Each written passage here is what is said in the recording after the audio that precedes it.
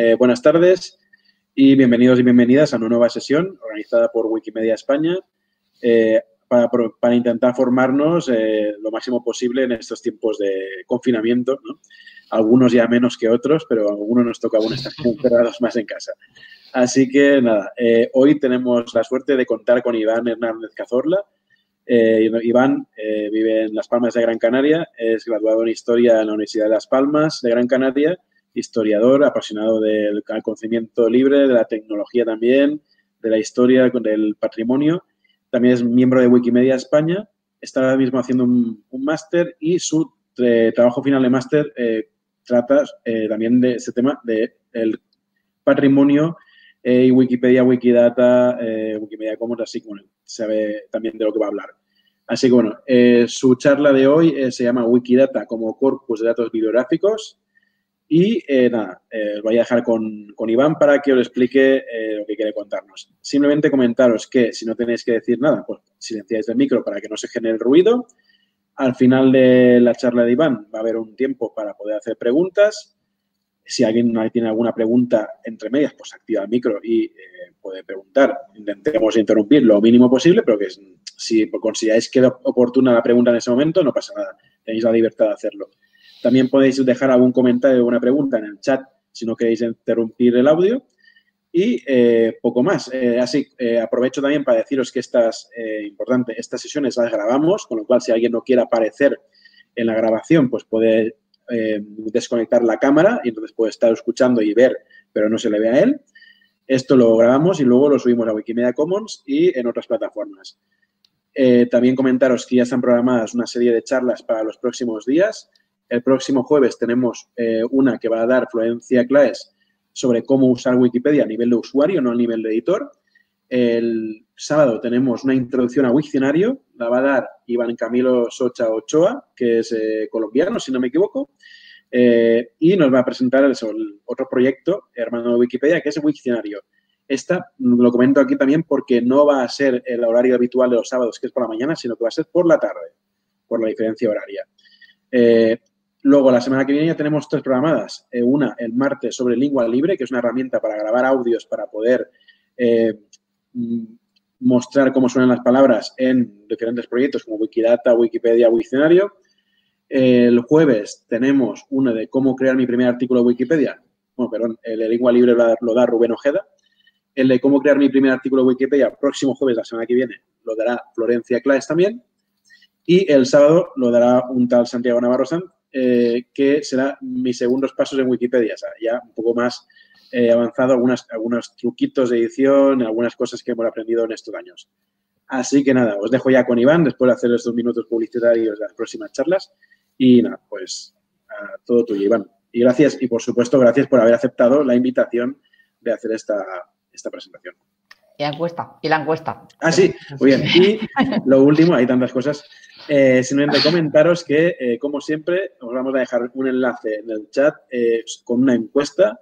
Esta encuesta no es para pedidos dinero ni nada, simplemente es para eh, saber si os ha gustado o no os ha gustado, qué os parece, para poder mejorar en esta serie de sesiones que realizamos y poder conocer mejor vuestros gustos y qué podríamos hacer de cara a futuro.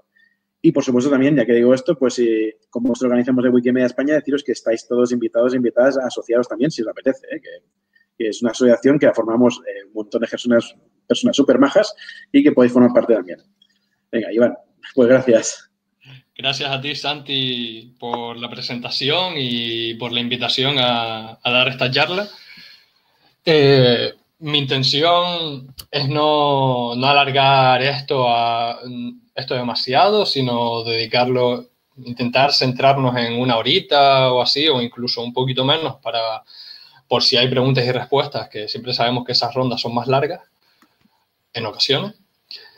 Por lo que mi intención ahora mismo va a ser eh, hacerles un esbozo de, lo que viene a ser el uso de Wikidata como un corpus de datos bibliográfico. Daremos un breve paseo por ese, por ese tema. Y en algunos momentos les compartiré la pantalla con, la presentación. Vamos a empezar con eso. Y en otros, pues nos iremos a navegar por algunas pestañas. En, en la página del encuentro hay una, en el enlace de material de apoyo he puesto algunos recursos a herramientas de las que voy a hablar, que se van a ver en la presentación y algunos artículos científicos en torno a este tema. Entonces, voy a compartir pantalla.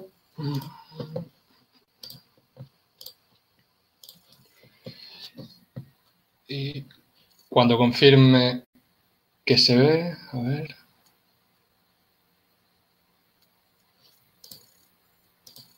Vale, perfecto.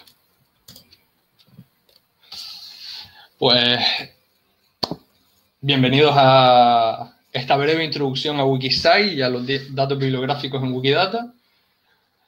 Mi intención va a ser exponerles brevemente lo que es Wikisite, eh, cómo se está trabajando el tema de los datos bibliográficos en Wikidata, cómo contribuir con este tipo de datos y cómo visualizarlos con Scolia principalmente. En cuanto al apartado de contribución, veremos, va a ser muy ameno y principalmente voy a indicar algunas herramientas útiles, pero eh, no va a haber tiempo para entretenernos a hacer algo más práctico, porque si no nos podríamos quedar aquí bastante tiempo. Entonces, parafraseando un poco la, ya muy conocida y mítica cita por la que muchos conocen el movimiento Wikimedia, creo que es el momento y lleva ya siendo, lleva ya intentándose desde hace un tiempo. Creo que es el momento de imaginar más que nunca un mundo de citas y datos bibliográficos abiertos, en este momento tenemos el ejemplo de grandes compañías como por ejemplo Elsevier y And Company, por no poner a citar otras, que eh, se encargan de hacer un negocio con el tema de los datos bibliográficos y las citas en un contexto, de, en un contexto cerrado. Por eso Wikidata nos proporciona esta infraestructura para creer eh, e imaginar este, este mundo en el que podríamos tener las citas y los datos bibliográficos a disposición de todo el mundo y facilitar no solo los estudios, sino también la curiosidad de todos aquellos interesados en este tema. Entonces, aquí, por ejemplo, les, les pongo un ejemplo de artículo de, elemento de Wikidata.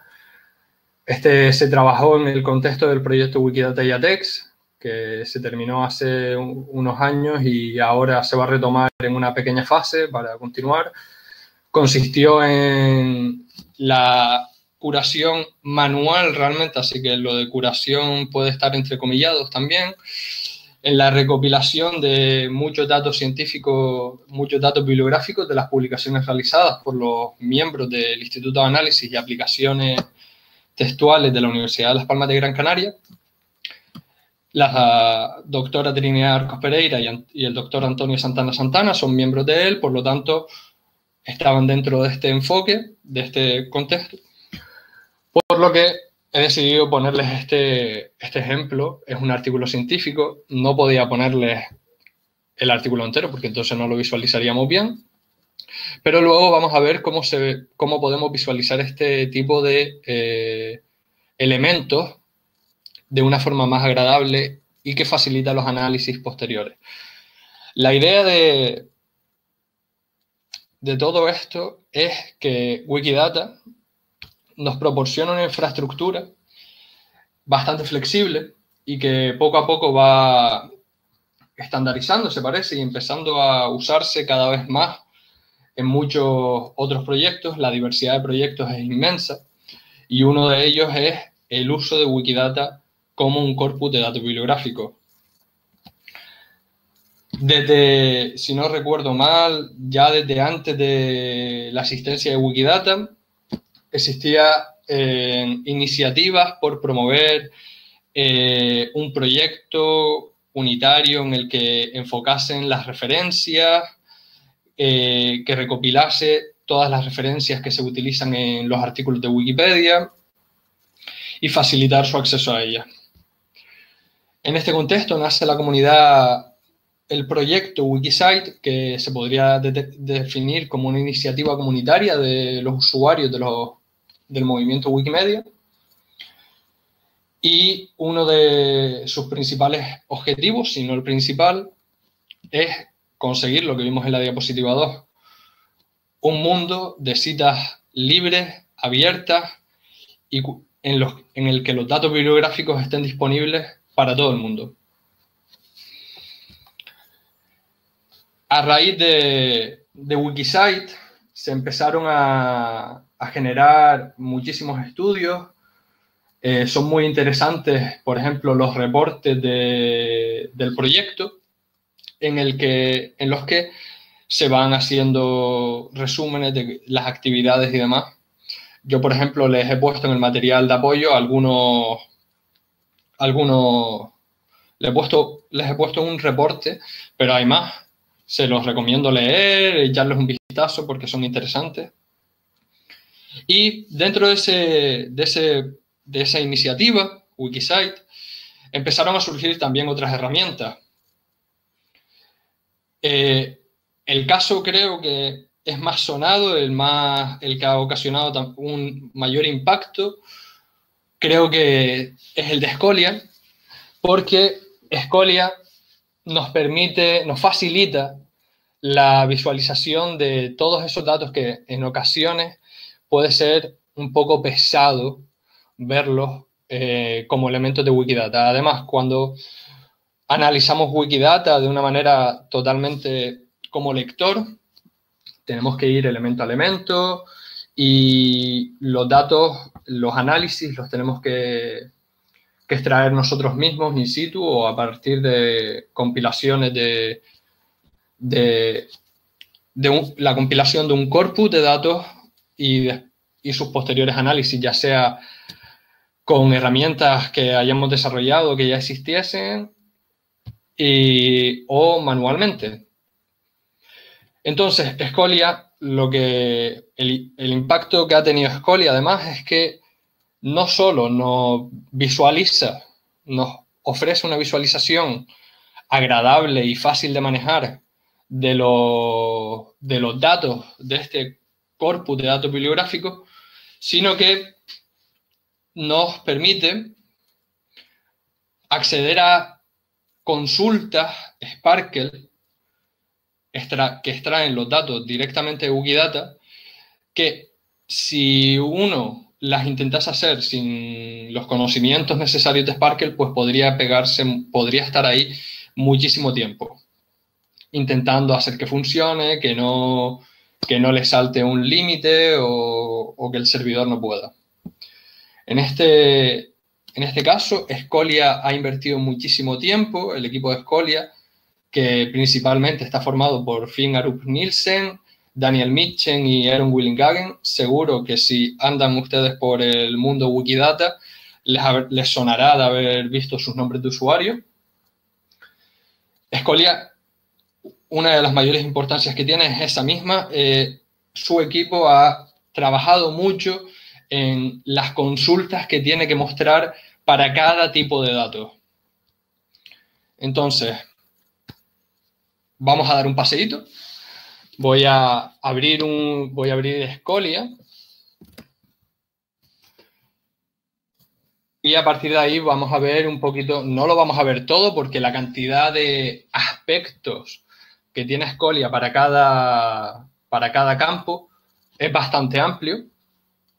Pero antes que nada, hay que comentar una cosa. Este aviso que pone al principio es muy importante. Hay que tener en cuenta que Wikidata es una base de datos, un repositorio de datos en continuo crecimiento y los datos van a estar cambiando continuamente. Tenemos que entenderlo como algo dinámico, como probablemente muchos de nosotros entendemos, pero hay que hacérselo ver a los demás que es algo dinámico que crece y cambia. Y además tenemos que tener en cuenta que las limitaciones que ofrece la infraestructura, esa es una de las principales prioridades en las que está trabajando el equipo de, de Scolia están trabajando en intentar que las, que las consultas no, no fallen, que no haya problemas con los servidores y que funcione eh, al 100% lo máximo posible. Sin embargo, debido a la cantidad de, usos que está teniendo Scolia y, y, el consumo de recursos que provoca estas consultas, en ocasiones es normal que fallen o tengan algún problema de visualización. Entonces, esto es muy sencillo, la interfaz es sencilla. Aquí, por ejemplo, tenemos ejemplos de, perfiles de autores, de instituciones, incluso de bibliotecas. También tenemos combinaciones porque podemos comparar, por ejemplo, una universidad con otra, la producción científica de una universidad con otra. Podemos comparar autores, podemos comparar, podemos extraer, hacerle una consulta sencilla como podemos ver aquí, tenemos el ORCID del autor y queremos saber si este ORCID está en, Wikipedia, en Wikidata con este sencillo formato, incluyéndolo aquí, podemos, podemos acceder a ese perfil. En este caso voy a, voy a irles a, los que, a lo que más manejo, que es el instituto para el que hice este análisis que comenté anteriormente. Entonces,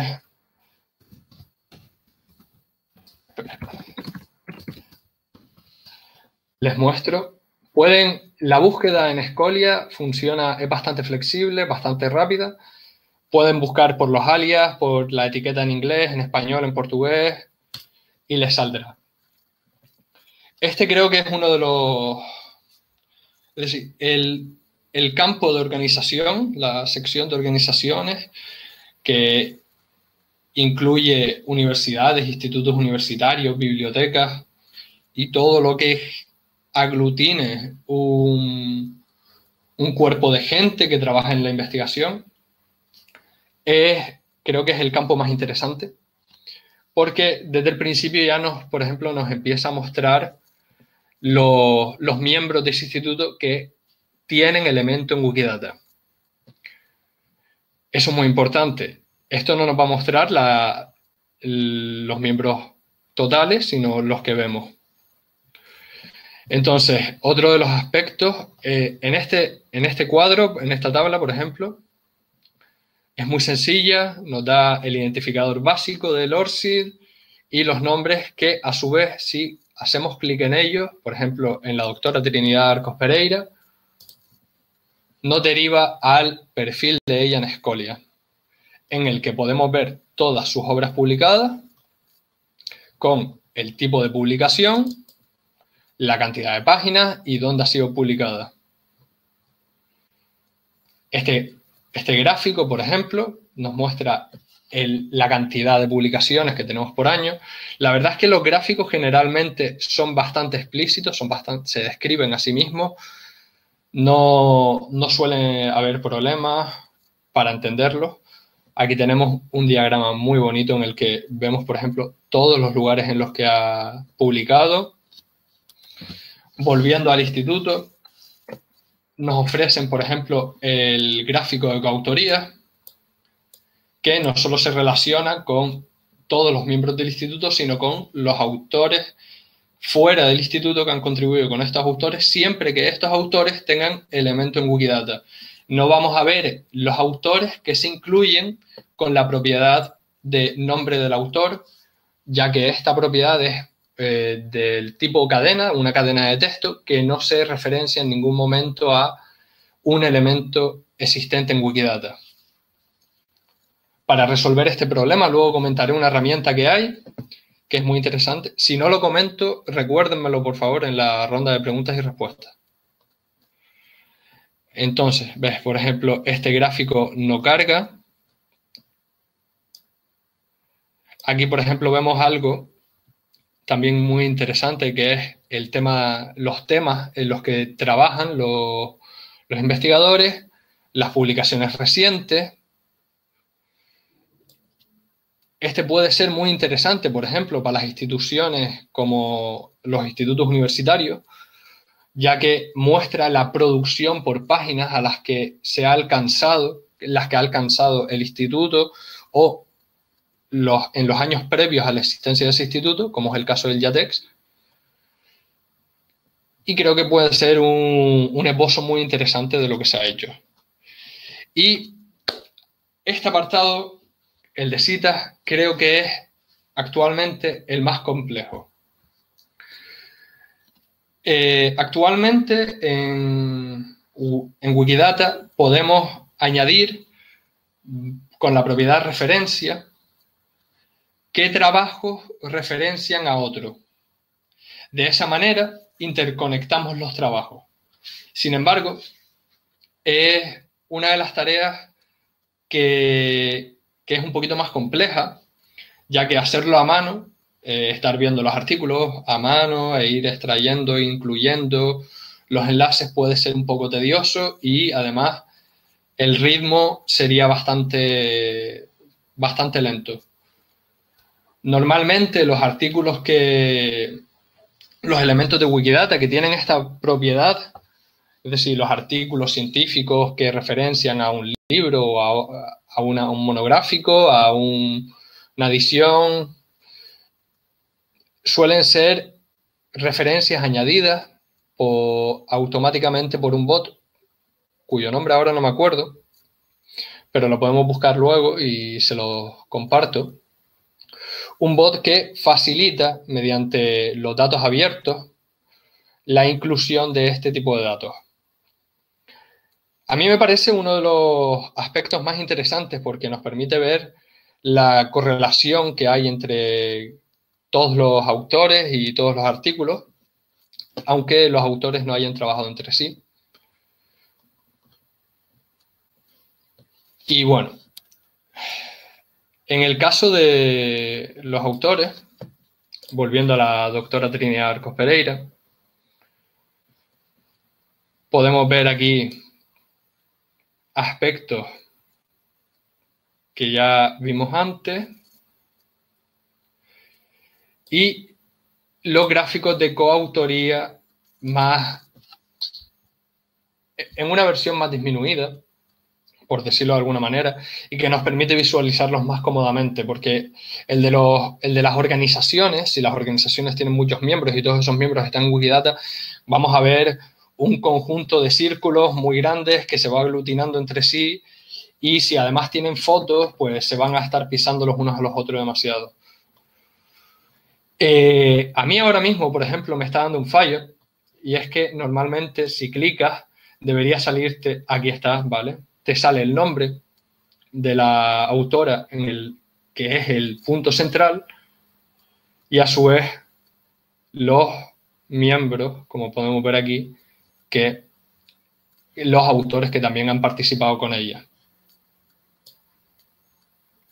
Esto sería el, diagrama de, temas que ha trabajado y abajo pues seguimos con una serie de diagramas como por ejemplo las imágenes asociadas que lo que podemos evidenciar muchas veces con este tipo de, con este aspecto es la carencia de eh, recursos multimedia de, esto, de las investigaciones, de los miembros de un instituto o del propio instituto. En este caso, por ejemplo, la doctora Trinidad Arcos Pereira no tiene ninguna imagen enlazada a su elemento de Wikidata ni categoría propia, por lo que no nos está mostrando ninguna fotografía relacionada con ella. En su lugar nos muestra, por ejemplo, la foto de Gregorio Rodríguez Herrera, que es el actual director del instituto, una foto del instituto, la Universidad de Sevilla, donde estudió ella, Las Palmas de Gran Canaria, un panorama de Las Palmas de Gran Canaria, que es donde trabaja, y así.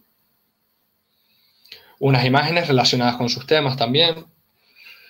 Yo les animo a revisar todos los aspectos porque puede ser bastante interesante y se pueden ocurrir, a uno se, revisando esto se le pueden ocurrir ideas muy, muy, pero que muy interesantes. Hay un, hay un campo también muy interesante que es el de ubicación, si pulsamos en los campos, como hemos hecho aquí, nos aparecen ejemplos. En el de organización, por ejemplo, nos aparecen universidades, el Smithsonian, el propio, el, propio cuerpo de investigación de Wikimedia, el instituto del que hemos estado hablando. Pero vamos a ver el de ubicación porque creo que puede ser bastante interesante. Por ejemplo, si hacemos clic en el de en el de Cabo Verde, en el de Cabo Verde, en el de Ciudad del Cabo, nos hace, como Ciudad del Cabo tiene un artículo de Wikipedia, nos muestra un extracto de ese artículo. En este caso de la Wikipedia en inglés. Si los investigadores también lo tuviesen, también nos lo mostraría. Aquí, por ejemplo, podemos ver la cantidad de organizaciones que están ubicadas cerca o en Ciudad del Cabo. Y este gráfico que no está funcionando nos muestra eh, las ubicaciones cerca por temas en los trabajos. Por ejemplo, en la Universidad del Cabo, de Ciudad del Cabo, podemos ver la cantidad de investigadores que están incluidos con sus obras, como vimos también con el Instituto de Análisis de el Instituto El. Este es el caso que les comentaba. Tenemos un gráfico de coautoría en el, en el que es un poco complejo trabajar en ocasiones, a no ser que vayas haciendo zoom por cada parte, porque estamos abordando no solo los miembros de un instituto universitario, sino los de toda una universidad. Un aspecto que creo que es muy importante tener en cuenta es que, por ejemplo, eh, un, un ámbito de investigación que se cubre bastante bien en Wikidata es el de la medicina, el de la ciencia de la salud. Todo lo que corresponde con medicina, gracias a PubMed y otros repositorios, pues se ha conseguido eh, introducir bastante en Wikidata, en el corpus de datos de, Wikidata. Eso se nota cuando, por ejemplo, se hacen consultas o se, hace, se miran las organizaciones. Muchos de los temas son relacionados con la medicina o la neurobiología y temas más, la bioinformática. Podemos ver por proyectos, podemos incluso ver por premios los Nobel de la Paz. Y aquí, este apartado es muy interesante, porque aquí, estamos bien, aquí nos ofrece una serie de herramientas, como son, por ejemplo, la herramienta que, que nos permite, a partir de un identificador de archive, eh, extraer sus metadatos e, y crear el, el elemento de Wikidata a partir de la herramienta Quick Statements, que es una herramienta para, para introducir datos en masa.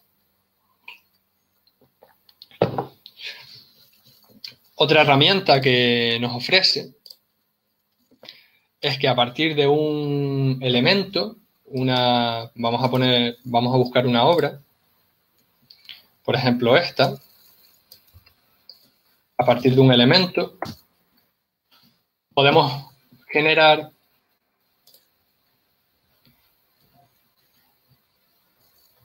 el directamente. Esto no debería ser así en teoría, si no me equivoco. Le echaré un vistazo. Volviendo a la presentación,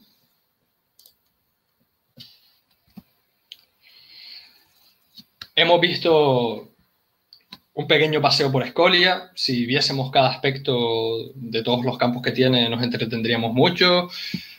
Pero sí les recomiendo que le echen un vistazo y que revisen las consultas, porque en muchas ocasiones las consultas pueden sernos útiles, ya que podemos modificarlas nosotros mismos para adquirir otro tipo de datos.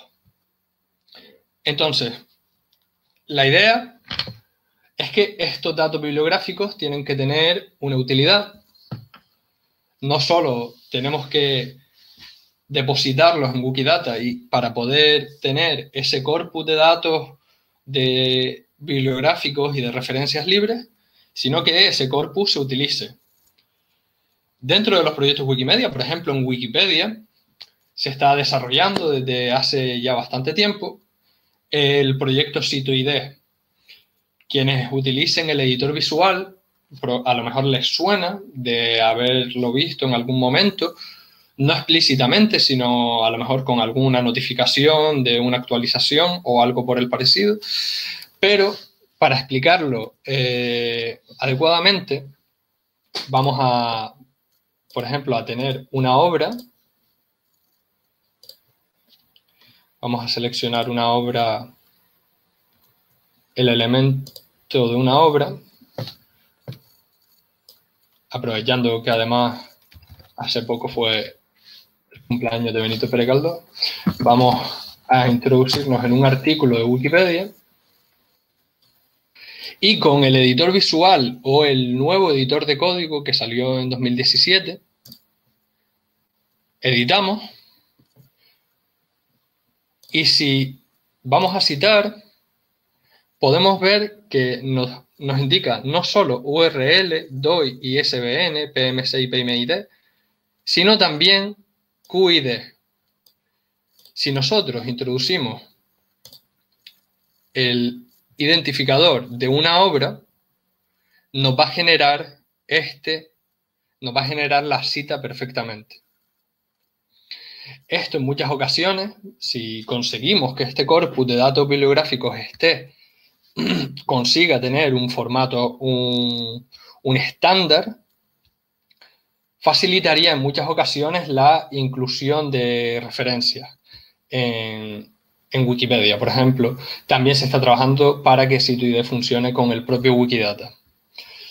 Hay algunos detalles importantes a tener en cuenta, y es que, por ejemplo, eh, para los españoles que suelen utilizar dos apellidos, eh, yo he notado que si, a pesar de que añadas un alias en el que incluyas los apellidos unidos por guion, te sigues trayendo el título de la etiqueta. Y si la persona no tiene ese, los apellidos unidos con el guion, el primer apellido queda relegado como parte del nombre y, es el segundo el que se incluye como el, como el, como el primer apellido. Pero en el caso de que lo añada, eh, queramos trabajar con esas referencias a partir de los elementos de Wikidata, podríamos añadirlo y lo único que tendríamos que cambiar, porque podemos luego gestionar la referencia automáticamente, no es que Wikipedia esté tirando continuamente de ese elemento, sino que extrae los datos, los incluye con la plantilla que tenemos en Wikipedia en español para este tipo de citas.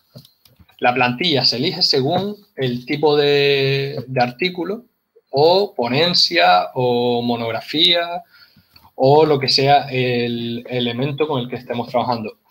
Trasladamos el apellido y en ese caso ese sería el único cambio que tendríamos que hacer para tener la referencia en el formato que se suele trabajar en Wikipedia. Que ya luego sobre el formato de referencias en Wikipedia ya eso es otra discusión sobre la que probablemente algunos de los presentes en esta charla tengan mucho más que decir que yo mismo, por su propio conocimiento sobre el asunto. Entonces, SituID nos facilita esto. SituID está integrado dentro de estos dos editores, del de código de 2007, 2017 perdón, y del editor visual para facilitar esta integración, esta extracción de los datos bibliográficos de Wikidata y su uso en los proyectos.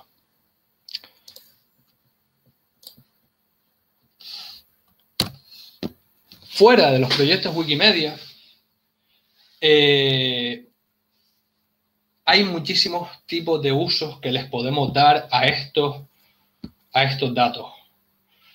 Eh, podemos, por ejemplo, eh, utilizar las visualizaciones que genera, que están dentro de Scolia, utilizar el código para incrustarlas e introducirlas, por ejemplo, en las páginas de eh, nuestros institutos de investigación, en nuestra página de, en nuestra página personal. Podemos incentivar la integración de estas visualizaciones en instituciones que investigan, promueven la investigación y facilitar que estos datos sean, se visualicen en esas mismas instituciones tirando de los datos de Wikidata. Podemos perfectamente hacer análisis de datos a partir no solo de las consultas Sparkle, sino ya sea con ellas o con herramientas que se puedan desarrollar a partir de otras que ya estén desarrolladas o con cuadernos Jupyter que nos permiten analizar ese, estos datos de Wikidata de una manera bastante sencilla en algunos casos, más compleja en otros, según los datos que uno quiera obtener. Las consultas Sparkle son esenciales porque no solo nos permiten incrustar estas visualizaciones, porque Escolia lo que hace realmente es incrustar eh, consultas Sparkle. Por eso digo que esas consultas Sparkle las podemos reutilizar ya sea para recoger nuestros propios datos o para introducirlas en eh, algún proyecto que nos interese. Podemos desarrollar nuestras propias instancias de proyectos Wikimedia, de proyectos con MediaWiki y generar en esas wikis de proyectos, esas wikis personales, eh, integrar Wikidata para que utilice esos, esos datos. Podemos, en muchas ocasiones, los institutos universitarios, por ejemplo, las universidades o las propias bibliotecas, nos hacen un esbozo de los autores y cuáles han sido sus obras, cuáles son las, las obras que ha, escrito y los proyectos en los que participa. Podemos aprovechar eh, estos datos de Wikidata para eso, pero lo más importante de todo es que cuando hacemos esto, intentemos incentivar a las instituciones con las que trabajamos o con las que tenemos interés en trabajar para que sean ellas mismas quienes introduzcan, faciliten la introducción de datos fiables con referencias que nos permitan contrastarlo y que de esa manera eh, no solo estamos utilizando los eh, datos, sino que estamos retroalimentando el proyecto. Aquí puse completar porque realmente la cantidad de usos que se le puede dar, a mí se me ha ocurrido esto. Estoy trabajando en proyectos relacionados con estos, pero eh, a cada uno de nosotros se nos puede ocurrir eh, usos totalmente diferentes que se le pueden dar a estos datos. Sobre cómo contribuir, Voy a mencionar la herramienta que comenté antes, que no está incluida aquí. Se las dejo luego en el chat. Hay, un, hay una herramienta que se llama, en español sería desambiguador de autores. En inglés la herramienta es Authors Disambiguator, si no recuerdo mal. Luego la pongo también en el material de apoyo, así la tienen disponible y a mano. Y consiste en que muchas veces eh, eh, los, elementos de Wikidata sobre artículos científicos y otro tipo de obras se introducen, pero no se crean eh, los autores, sino que lo que se hace es, se crea el elemento y cuando se llega al punto de la autoría, se comprueba si existe, eh, en el caso de que haya un identificador que coincida si en, el, si en la fuente de la que estamos extrayendo ese dato hay uno de los datos que uno de los identificadores que coincide, normalmente se, suelen conciliar y lo que se hace es añadir el autor con la propiedad de autor, que lo que hace es enlazar con ese, con ese elemento, con el elemento de ese autor en Wikidata. Pero en muchas ocasiones, demasiadas ocasiones, lo que vemos son muchos artículos científicos en los que la propiedad de autoría sea, es nombre del autor, que como comenté antes es una cadena de texto. Una cadena de texto y unos cualificadores que nos indican el orden que tiene ese autor en la lista de autoría del artículo. Entonces, Authors Disambiguator lo que nos permite es introducir un artículo revisar sus autores y nos hace una búsqueda a partir del nombre y los apellidos en Wikidata y nos propone elementos que podrían ser eh, ese autor. Entonces, nosotros a partir de la pequeña investigación que hagamos podemos determinar si es o no es ese elemento el que coincide con ese autor. Eh, hay otras dos herramientas muy, muy interesantes que son Source Metadata y Oxidator. Hoy me metí para hacer esta presentación en las páginas de, ambas, de ambos proyectos que tienen disponible una página en Wikidata para informar del proyecto. También las tienen disponibles en los materiales de apoyo.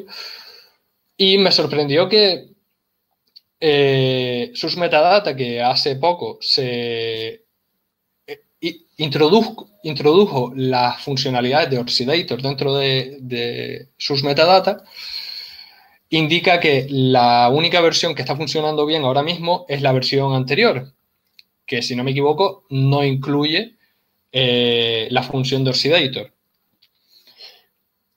Entonces, teniendo en cuenta que está pendiente ver si estas dos herramientas siguen funcionando tal y como, como se señalan en sus páginas de Wikidata, lo cual espero que sí, porque son muy útiles, lo que hace Source Metadata es que a partir de un identificador nos lo busca en otras fuentes y nos extrae los datos de ese autor para poder crear su elemento. Oxidator hace lo mismo, pero está específicamente eh, centrado en ORCID y además en extraer también las publicaciones de esos autores. En el caso de otra de las formas que tenemos de contribuir es realizar curaciones de datos, hacer compilaciones de datos, recopilar datos de fuentes que nos lo permitan. Recordemos también siempre que si una de las, si vamos a hacer una curación masiva de datos de una fuente, tenemos que tener en cuenta la licencia de esa fuente. Muy importante porque si no, la edición masiva se podría eh, revertir totalmente en Wikidata por problemas legales. Este es uno de los aspectos que creo que en los que creo que puede ayudar muchísimo las instituciones que se dedican a, que están centradas en el ámbito científico como por ejemplo las universidades o las bibliotecas, que podrían facilitar eh, a partir de sus propias fuentes la compilación de estos datos para luego reconciliarlos a lo mejor con OpenRefine e ir creando todos estos tipos de, todos estos elementos.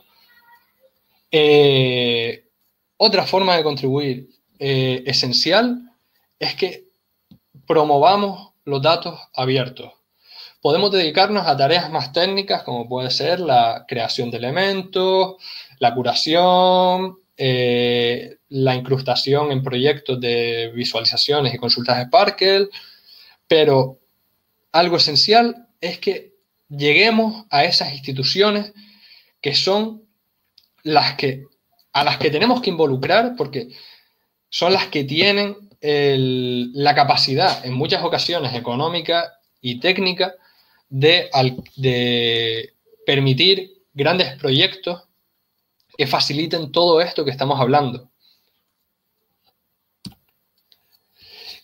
Yo, mm, si no me equivoco, no se me queda nada atrás. Creo que llevamos 40, 45 minutos más o menos de charla. Eh, digo, no creo que se me olvide nada si, seguramente si se me olvida algo me iré acordando ahora en el turno de preguntas y respuestas. Y por ahora les digo que gracias por su atención. Si cualquier duda que tengan, será un placer contestarla, mostrarles lo que, lo que deseen o cualquier cosa. Estoy aquí tanto ahora como que también pueden contactar conmigo por mi usuario de, de Wikimedia y Iván Erca en mi página de discusión o por un correo electrónico que pueden enviarme desde la misma página de usuario. Y ahora me callo un rato. No te van a callar mucho porque las preguntas son para ti. Eh, así que, bueno, pues, ¿se me escucha? Eh, sí. Sí, sí. A veces como me falla el micro. Vale, pues bueno, muchas gracias Iván por la presentación. Y como hemos dicho, pues ahora viene el turno de preguntas. Así que, bueno, quien tenga algún comentario, eh, no solo preguntas, también pueden aportar eh, quien quiera, pues eh, algún comentario, sugerencia, algo de su experiencia personal, cualquier cosa será bienvenida. Con lo cual, bueno, pues eso. aprovecho para ya darle las gracias a Iván por, por su presentación. Y nada, al resto, pues eso. ahora aprovechad y preguntad lo que queráis. nada a ver si quien quiera, pues nada, eh, que conecte el micro y que pregunte. Cuando termine la pregunta, la respuesta de esa persona, pues otra. Si os parece bien. Mm, vale, ¿puedo preguntar? Sí. Ah, bueno, y aprovecho que está enlazada la encuesta en el chat. es encuesta de satisfacción, que la acaba de poner ahora Elena. Así que nada, eh, quien quiera y nos hace la gracia de rellenar la encuesta para saber si os ha gustado, si nos gusta y todo esto. Vale, Florencia, todo tuya, me pregunta. Bueno, Iván, muchísimas gracias por la explicación, porque a mí eh, eh, este proyecto me fascina, lo conocí en Buenos Aires con Juan, que está ahí también, y, me cuesta bastante comprenderlo, porque a mí la parte esta de datos estructurados y datos, datos, como que por momentos me pierdo, ¿no? Tengo que poder abarcarlos todos para poder entenderlos y esto me parece demasiado grande.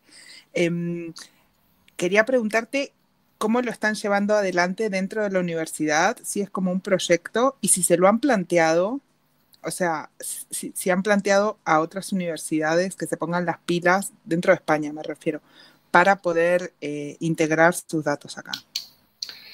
Eh, actualmente eh, no es algo continuo. Por ejemplo, en la Universidad de Las Palmas de Gran Canaria no estamos trabajando, no, se está trabajando directamente con la universidad, aunque sería ideal eso, proponerles un proyecto de gran calibre, de gran escala, en el que eh, se pudiese involucrar varias personas, no solo una, para, para este desarrollo del corpus de datos.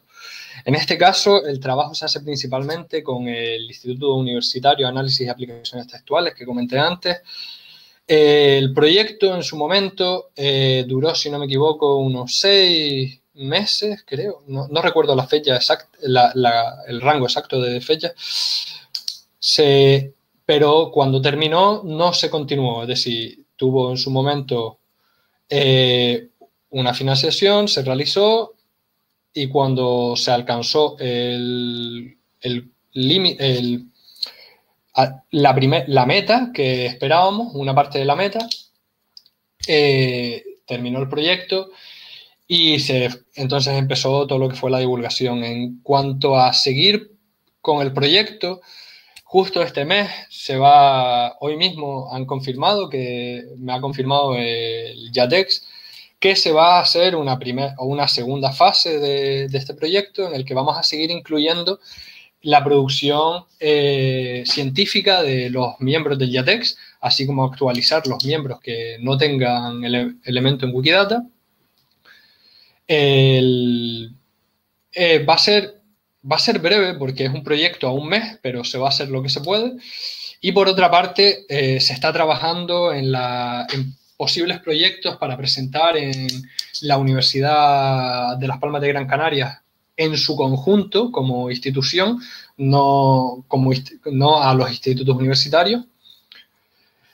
Y se está trabajando también proponer este tipo de proyecto a la Universidad de La Laguna o a sus institutos universitarios en el caso de que eh, prefieran eh, empezar por algo pequeño, como se ha hecho en este caso porque a pesar de que, por ejemplo, el instituto, el YATEX, eh, no, es un gran, no es un instituto grande en cuanto a cantidad de miembros, tiene 50 y algo, eh, sí hay mucha producción científica de por medio. Entonces, si tenemos en cuenta la, la producción científica que puede tener cada autor, pues podemos estar bastante tiempo. Y luego tenemos el problema de que en muchas ocasiones no, por ejemplo, en las humanidades ocurre mucho, o al menos eso he notado yo, o, ocurre mucho más comparado con, otra, con otros ámbitos de investigación, que, los, que las referencias, los datos bibliográficos no los encontramos eh, estructurados adecuadamente en, algún, eh, en alguna fuente. Por ejemplo, eh, en su momento, cuando hicimos el proyecto, nos encontramos con varios problemas. En el repositorio institucional había que, había que revisarlo sí o sí, pero no solo porque los datos, porque como los, son los usuarios, los propios investigadores o los técnicos de institutos quienes lo suben, cuando los suben los técnicos suelen ser los datos más fiables, pero cuando los suben los investigadores en ocasiones nos encontramos situaciones como, por ejemplo, alteración del orden de los autores o eh, que solo se pusieron a ellos como autores cuando el artículo a lo mejor lo han escrito tres personas. Entonces, sí o sí hay que confirmar esos datos eh, con otras fuentes o con el propio artículo.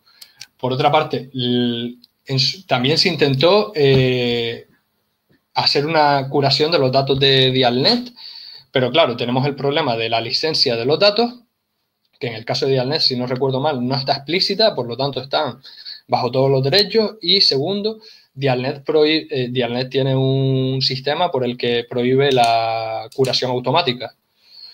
Entonces, hay que ir eh, superando X obstáculos y por eso es importante concienciar a las instituciones. Una de las cosas pendientes, por ejemplo, es hablar con Dialnet, ver si de alguna manera se podría facilitar los datos que tiene, los datos fiables que tiene, porque en, algunas ocasiones, algunos registros, depende de la fuente de los que los haya extraído Dialnet, pues los encontramos de una manera u otra, pero generalmente suelen estar en buenas condiciones. Y ese, al menos, es la situación con la que yo me encuentro trabajando ahora mismo, Florencia. Eh, una, perspectiva ahora mismo a corto plazo con el proyecto del Yatex y haciendo proyectos con el objetivo, eh, redactando proyectos para presentarlos a las, a las universidades de aquí principalmente, que son con las que más contacto tengo, eh, a largo plazo. Esto en, Portugal, estuve en los Wikidata Day, ellos también están haciendo en la comunidad científica portuguesa, Ana Catarina Reis y Miguel Mimoso Correia, están trabajando eh, en una serie de, eh, en este mismo proyecto realmente, es decir, el mismo proyecto que fue, fue bastante curioso porque el mismo proyecto que empecé en la misma fecha, ellos lo empezaron prácticamente con las mismas características en las mismas fechas. La diferencia es que ellos tuvieron una capacidad técnica mayor porque Catarina Reis eh, se pudo involucrar eh, abiertamente, eh, se dedicaba especialmente a esa tarea y los resultados que obtuvieron fueron muy interesantes. Los tienen, el artículo que publicaron con ellos está en el apartado de materiales de apoyo y seguimos en contacto continuo para seguir trabajando en estos aspectos que interesan a ambas comunidades científicas. Y no sé si te he respondido.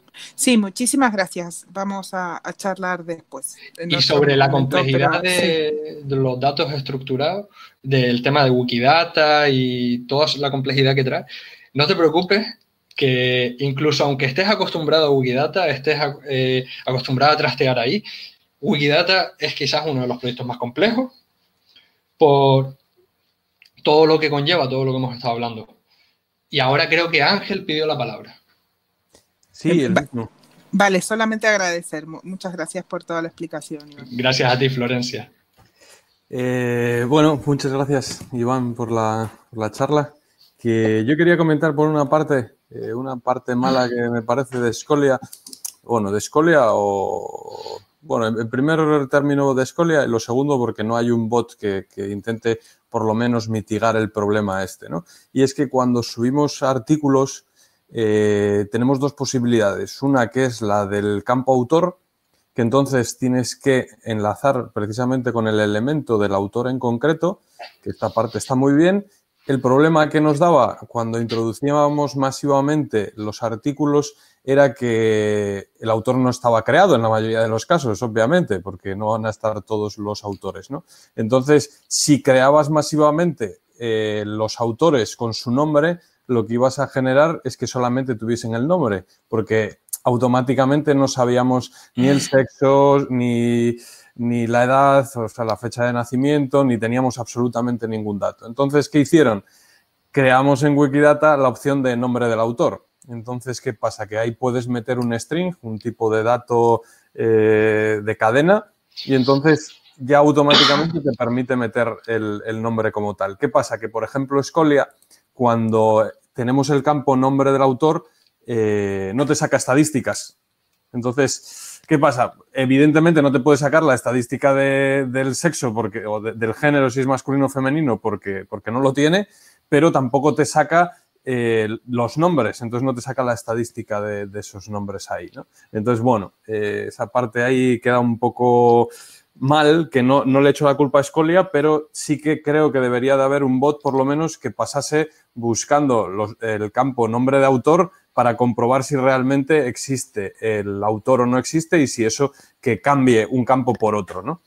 Y la segunda parte que te lo estaba diciendo por ahí Jesús, que te estaba copiando y pegando en el, en el chat eh, la prohibición de Dialnet. Yo creo que Dialnet al final está creado como base de datos para que todo el mundo consulte Dialnet. Si al final va a permitir que sus datos estén en otras bases de datos, va a perder esa posición, ¿no? Entonces, si va a dejar que, que, todo el mundo pueda introducir los datos en bases de datos nuevas, pues al final va a perder esa posición. Por lo tanto, yo aquí lo que veo más factible es que en caso de que la gente esté interesada, es que se pidan los datos directamente a las revistas. Yo, de hecho, me he puesto en contacto con dos o tres revistas y perfectamente me dan los archivos de la base de datos en los formatos que a mí me dé la gana. Ellos encantados, de hecho, de que los datos estén ahí subidos y al final, bueno, pues yo veo que hay, es la, vía más directa, ¿no? Por lo menos, ya os digo, yo los, las tres revistas con las que me he puesto en contacto me han enviado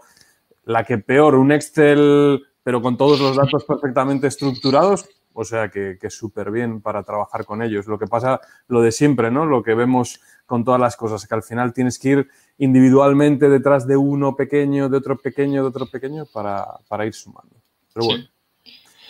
Eh, en cuanto a lo del nombre del autor, es que ese es un gran problema actualmente. Es decir, eh, yo a nivel técnico no sé cómo lo podrían, decir, hasta qué punto podrían introducir algo para solventarlo, porque como trabajan generalmente con consultas Sparkle, tendrían que encontrar la manera de, eh, de introducirlo. Pero la verdad es que sería interesante. su repositorio GitHub está abierto y la verdad es que si, si se te ocurre alguna manera o crees que debería insistirse. Te animo, por ejemplo, a abrir la... eso o a buscar entre sus, creo que 600 ISUs que tienen abiertos. Que, sabes, que no son pocas. Casi nada, sí. sí. Y lo de las revistas es algo súper interesante porque suelen ser a las que más les interesa esta divulgación por el uso que se le da a los artículos y además eh, yo también creo que suelen eh, estar abiertas a, aportar los datos y sea lo que sea lo que den, con, con la reconciliación de datos se podría lograr buenas cosas. En cuanto a los autores también, eh, por eso, aprovechando que el proyecto Wikidata Yates, el Yates es un instituto con no muchos miembros, una de las cosas que hicimos fue crear primero los autores. Creamos todos los autores, y eso ya nos permitió tener una base sobre la que trabajar. Pero, eh, como digo en el artículo en el que, escribimos y que publicamos con los resultados y la síntesis del proyecto, tenemos un problema con, la, con que las propias instituciones no proporcionen datos estandarizados o que sean más o menos fáciles de, de extraer de alguna fuente. Eh, por ejemplo, Tramullas ahora comenta DOAG, que, sí, que otra opción sería extraerlos de DOAG. Si no me equivoco, hay gente que está extrayendo. Y de Open Citation sé que el bot que les comenté antes eh, extrae muchos, eh, muchos datos de ese proyecto.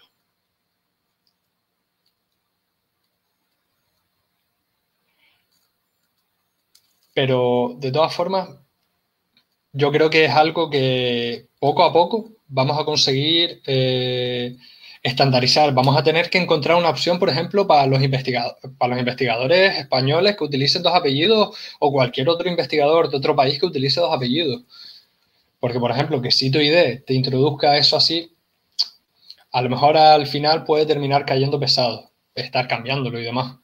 Si te lo introduce ya perfectamente, pues facilita las cosas.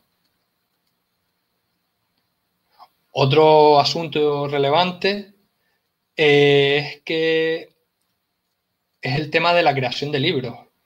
Los libros normalmente eh, son elementos un poquito más complejos, porque tenemos lo que es el libro y luego las ediciones.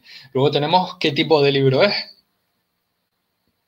Porque, por ejemplo, si introducimos un elemento de libro o de obra literaria en un en, un, eh, en el editor visual con, con lo de las referencias, no nos va a extraer los datos. Nos pone eh, la referencia como referencia a sitio web. Y el sitio web Wikidata lo que nos está referenciando es el sitio web de Wikidata. Si ponemos la edición, sí nos lo saca. Pero eso tiene que ver con la estructura del, del de los datos en cuanto a los libros, las monografías y todo lo que respecta a ellos, lo cual recomiendo mucho, lo voy a poner, me lo voy a apuntar para ponerlo luego en material de apoyo. Les recomiendo que le echen un vistazo al wikiproyecto de Wikidata, eh, Wikiproject Books, que es la verdad bastante interesante y facilita mucho la tarea de, eh, de crear elementos, crear un esquema de, de propiedades con el que trabajar.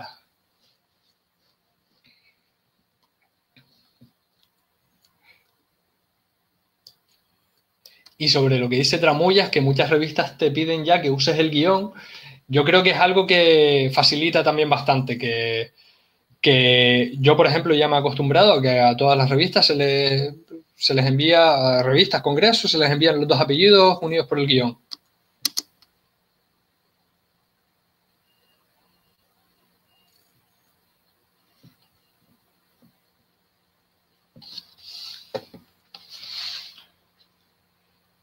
¿Alguna pregunta más o algo que quieran que se les muestre?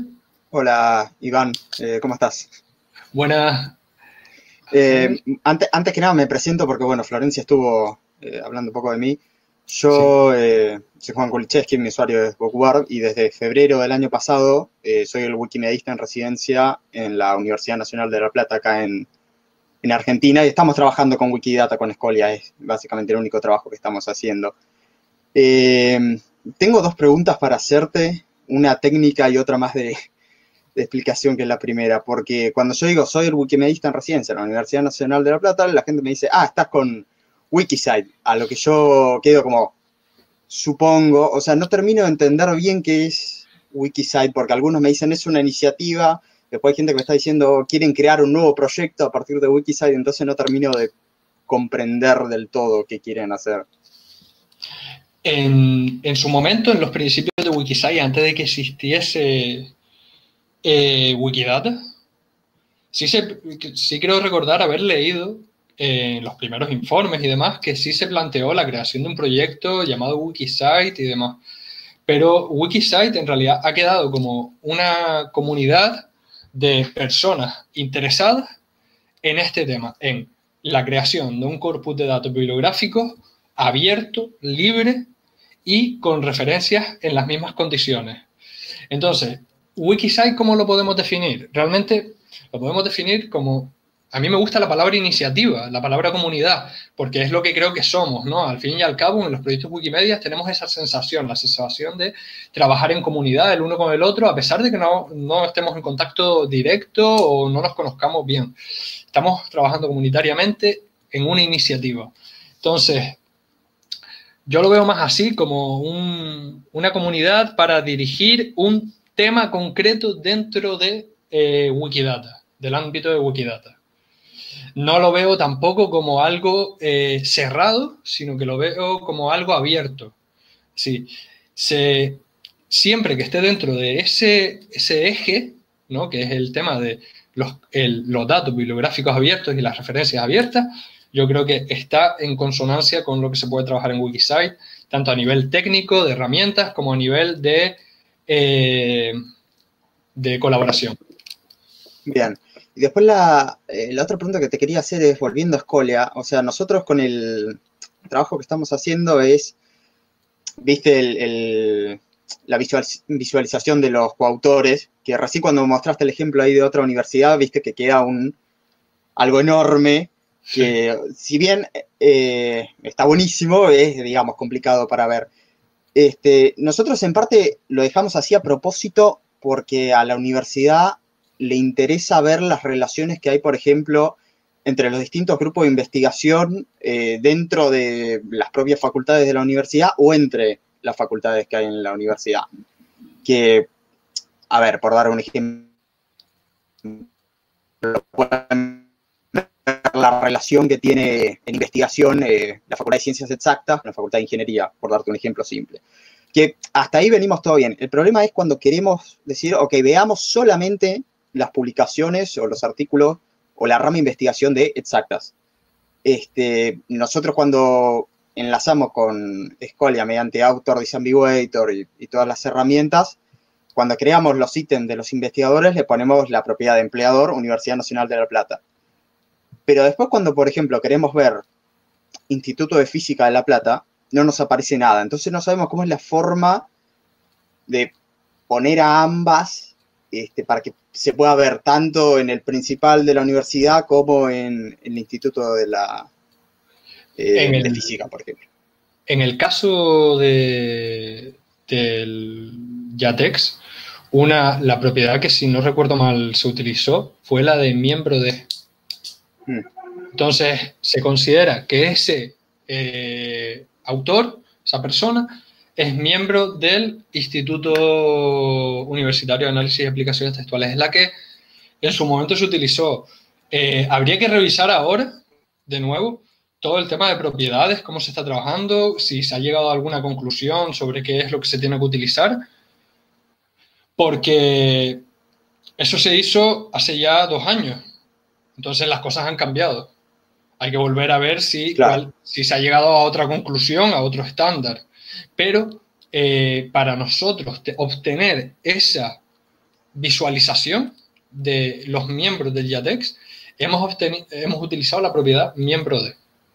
Entonces, si mantienes la de miembro de y empleador la, la Universidad de La Plata, yo creo que ambas se retroalimentan, aunque también creo que de alguna manera las consultas, yo no lo he comprobado, la verdad, pero estaría bien eh, saberlo a ciencia cierta, porque si tú, por ejemplo, añades que esa persona es miembro del, voy a poner el caso nuestro, miembro del Instituto del YATEX, automáticamente, ya que el Instituto YATEX eh, tiene una propiedad que lo relaciona como parte de la Universidad de Las Palmas de Gran Canaria, cuando tú mires la, consulta de Las Palmas de Gran Canaria, debería salirte.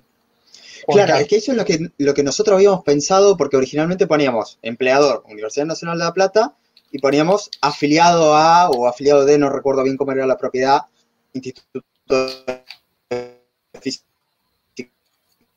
de La Plata, por ejemplo. dijimos, ok, teniendo en cuenta que Instituto de Física de La Plata también figura en su ítem la relación con la Universidad Nacional de La Plata, tendría que aparecer.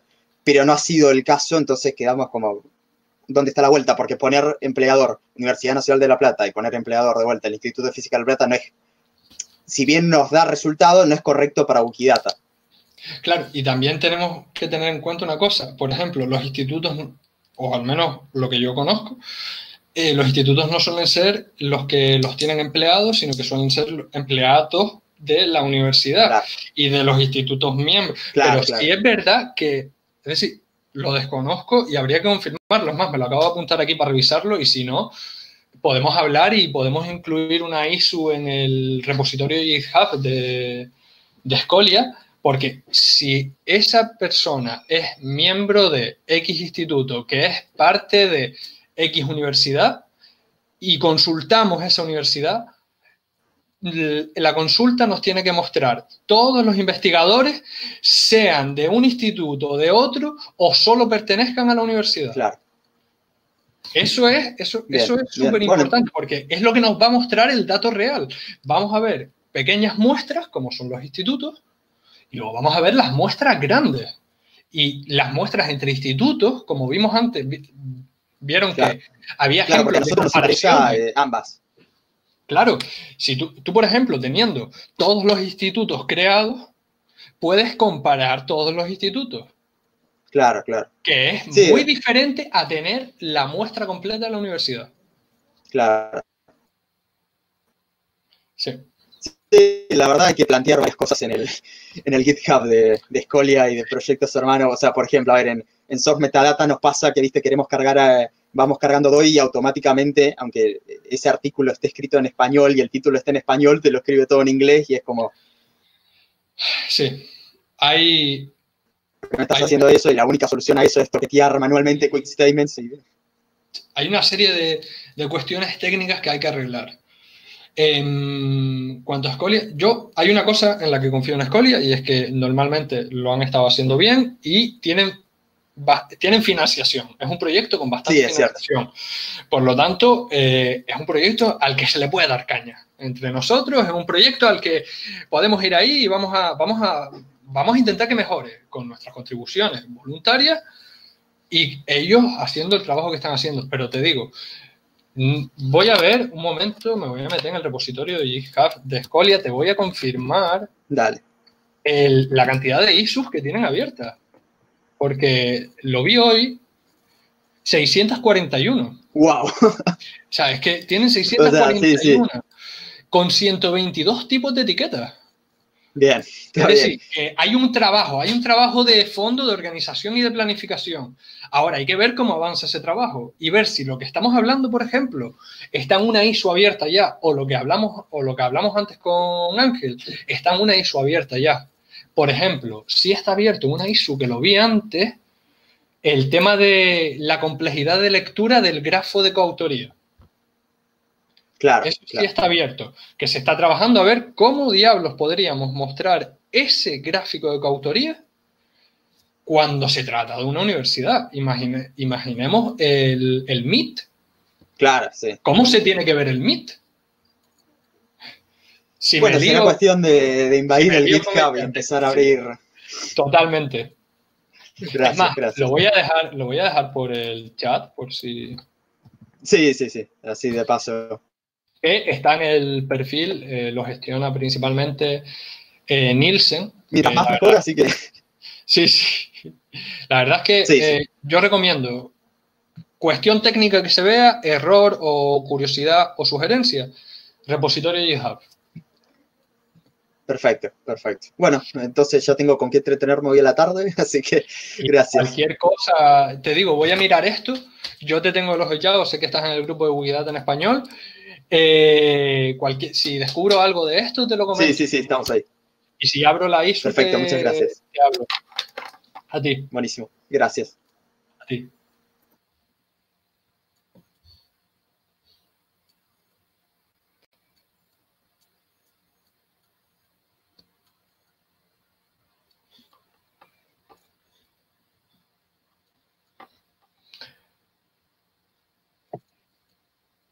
¿Más preguntas? Tramullas comenta que las visualizaciones estas que podemos ver en Scolia, la- las empresas estas que se dedican a la cienciometría, a, a generar estadísticas y todo este percal, eh, cobran. Y sí, es verdad, cobran una pasada. Es decir, el coste que tienen las instituciones científicas, las revistas o cualquier otro ente para en ocasiones conocer estos datos es asombroso. Eh, en cambio, si este, este es un punto desde el que se lo podemos vender a las instituciones. Ustedes están haciendo esto, esto y esto. Vale, pues si ustedes invierten en vez de en eso, en colaborar, en contribuir a esto de una manera fiable, continua, porque eso es algo que tienen en cuenta. Intentar hacer proyectos con una continuidad medio o a, medio o largo plazo, porque es donde vamos a empezar a ver los buenos resultados. Entonces, si eso se lo ofrecemos a las instituciones, pues según el que esté en el cotarro también, que todos sabemos que siempre hay unas situaciones que se dan y otras muy particulares, pues yo creo que podemos ir introduciendo Wikidata como corpus de datos bibliográficos en esas instituciones. Que esas instituciones, cuando, por ejemplo, eh, quieran mostrar un investigador suyo y, un, y, su y su producción científica, los extraiga de ahí. Que, que los técnicos se encarguen de el buen mantenimiento de eso, de esas incrustaciones, asegurarse de que funcionan, de que no están dadas de baja, de que hay que mejorarlas o, que eh, ha sacado algo mejor. Entonces, eh, el, trabajo de los técnicos que se encargan, que tienen las propias instituciones, en eso cambiaría un poco, seguiría estando ahí el trabajo, pero el, cambia totalmente la dinámica. Es decir, tenemos ya no solo además, es que yo creo que hace un buen nombre para la institución. Yo quería hacer un comentario. Eh, Iván. ¿Se ¿no? Sí.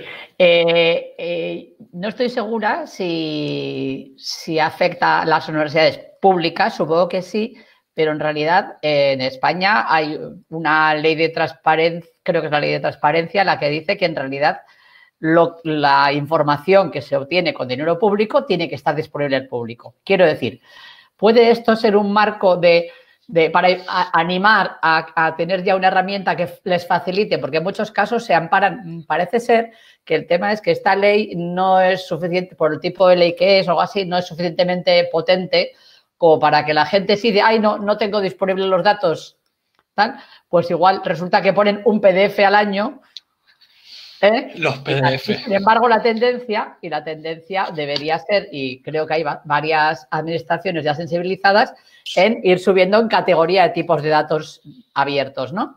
Entonces, quizá el enfocarlo como que, con esto estás mejorando su cumplimiento de aportar datos a la población Quiero decir que hay una, está ya amparado en una, obligación, ¿no? Quiero decir, sin tener que meternos en harina de contenidos puramente, propiamente dichos, pues igual este tipo de cosas pueden animar a, que, a ver, mira, pues igual puede ser, venga, pues para este año voy a empezar por, por tener esta información disponible de una forma abierta, aunque otra, en otras no me meta, no sé, como etapas, ¿no? Supongo que muchas instituciones lo están afrontando por etapas. Y en la universidad, por lo menos, el conocimiento tiene que estar. En un ministerio de no sé qué, igual te dicen que no hay conocimiento, no hay pasta, pero entiendo que las universidades en general, por ceñirnos a, universidades, pues por lo menos tiene que haber detrás conocimiento fácilmente como para poder eh, eso, mm, meter esfuerzos en programación, en una sistemática, en tener un, una, una, eso, pues unas iniciativas hacia este tipo de cosas, ¿no? Porque lo que también es verdad que a veces eh, es lo último que estabas comentando, es que estas herramientas tienen que tener la vocación de ser eh, algo vivo, o sea, cualquier cosa, cualquier dataset, cualquier conjunto de cosas de datos abiertos, si se publica hoy y lo dejo ahí, es como si no está. ¿no? Que eso, mira, con Ángel, que como yo estuve participando en un grupo de trabajo de esto de datos abiertos, pues estuve comentando así con varios y cosas que decían que, la administración tiene que ser consciente de eso, que lo que sea que, pongan a, disposición del público, que eso, que no sea colgarlo ahí y ya está, sino que sea algo vivo, vivo. Entonces, bueno, es un, un matiz más de, de que al fin y al cabo estamos haciendo eso, poner datos información que pertenece per se a la población, sobre todo, porque eso, porque está financiado con, dinero público en su mayoría o lo que sea, tiene que estar de libre acceso para la población. A eso, por ejemplo, yo en la redacción de un proyecto lo suelo llamar intentar eh, eh, atar todos los cabos lo mejor posible.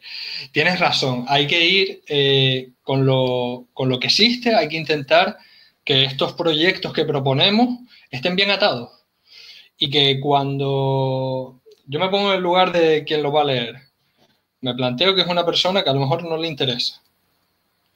Y está leyéndolo, pero de repente lee lo de la ley de transparencia de datos tal, que lee después no sé qué de las iniciativas y que poco a poco vas atándole todo y quieras o no, intentas que si no tenía interés, intentar generarle esa curiosidad o ese interés, que si a lo mejor el proyecto en salir tarda, tarda tiempo, pero generar que ese contacto se, se mantenga. Sobre una cosa que comentaste, los PDFs, eh, pues me he encontrado, por ejemplo, en los institutos universitarios de La Laguna. Las publicaciones las tienen en PDF. Cuando curar los PDFs es un poquito más complejo también. Es decir, te puedes crear una herramienta con Python y empezar a curar los PDFs, pero, pero es complejo y te requiere tiempo. Si hicieron ese trabajo, se podría plantear hacerlo de una manera más abierta y flexible. Y luego está Ismael, por ejemplo, eh, comenta lo de que muchas instituciones publican, pero terminan publicando con el no comercial. La cláusula de no comercial es la que en muchas ocasiones nos tira para atrás. Y les preguntas, mira, pero podríamos hacer esto de esta manera, licenciarlos, ya que son datos, eh, tratarlos como dominio públicos y demás. Ah, no, no, pero es que entonces los podría usar cualquier persona. Entonces, es, esa iniciativa acaparadora, muchas veces, es decir, esa mentalidad, perdón, acaparadora de esto es mío, lo uso yo y quien lo use, que no lo use para recibir un beneficio monetario. Eso es algo que, por suerte, en algunos ámbitos parece que se está flexibilizando mucho. A ver si poquito a poco, en los contextos en los que todos nosotros estamos, vamos obteniendo más mejoría en estos, en estos asuntos. Y creo que si terminaste, Elena, eh, Manuel pidió la palabra.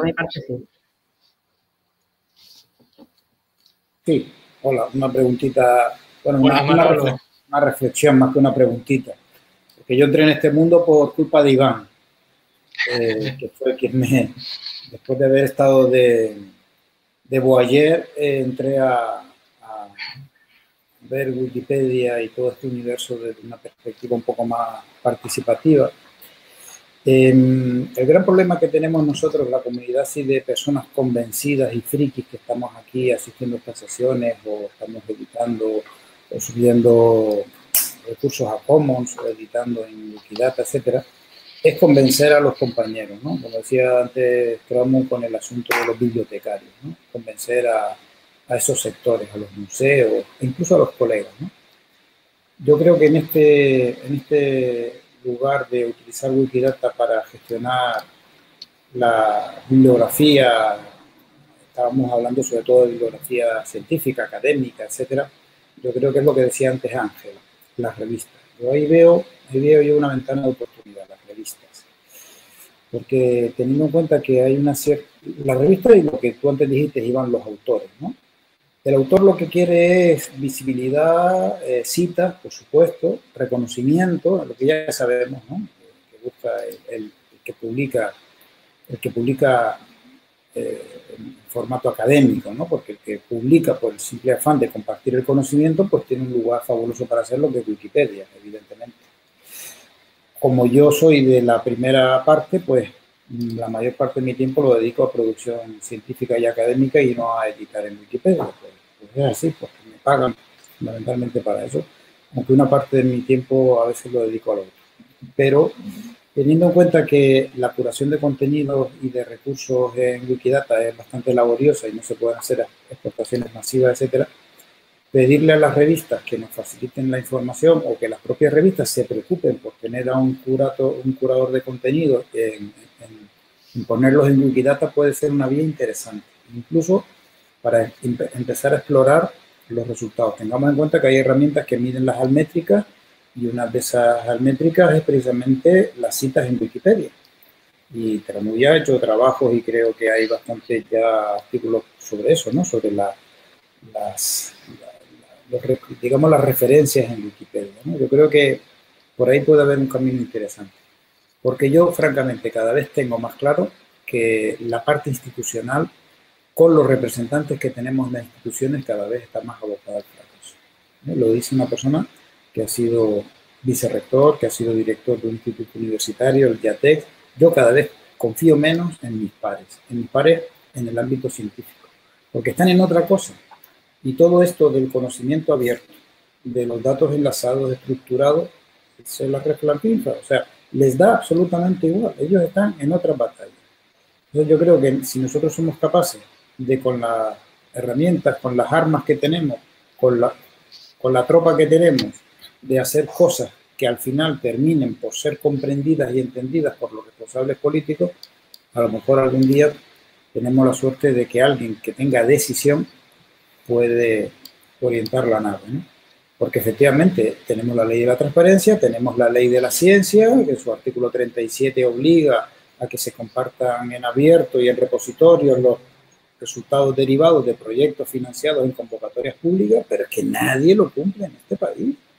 Ni siquiera la propia administración que financia los proyectos nacionales se preocupa, como hace la Unión Europea, de que los investigadores, los IP de los proyectos rindan cuenta de la publicación en abierto de sus resultados.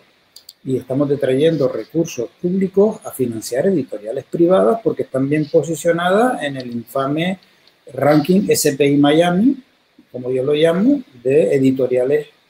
Y el primero que lo hace soy yo. Ojo, eh, ojo, eh, que no, no quiero señalar con el dedo acusador a, a nadie, porque yo precisamente que estoy en ese club de investigadores que quiere publicar en los mejores sitios posibles para que eso redunde en mi currículum, pero también en de la gente con la que yo trabajo, pues al final termina uno haciendo eso. Lo que pasa es que una parte de mi trabajo lo dedico precisamente pues, a proyectos como este, como este ¿no? en los cuales pues, uno confía en que algún día las cosas, si no caen por la fuerza de la gravedad, caigan por el peso de la razón. ¿no? Yo creo que tenemos que trabajar eh, en proyectos como, como, el que estaba hablando Iván y, esperemos que, que, siga en el futuro creciendo. El problema, Iván lo ha dicho, es convencer a, las instituciones, a los institutos, a las universidades.